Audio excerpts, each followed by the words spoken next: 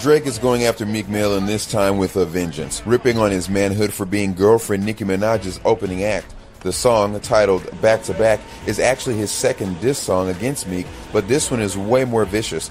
Drake also makes fun of Meek for not being the breadwinner in the relationship. And how's this for ironic? Meek Mill was booed when he came out on stage during Tuesday night's show with Nicki because he was 90 minutes late. The show was in Toronto. Drake 2, Meek 0.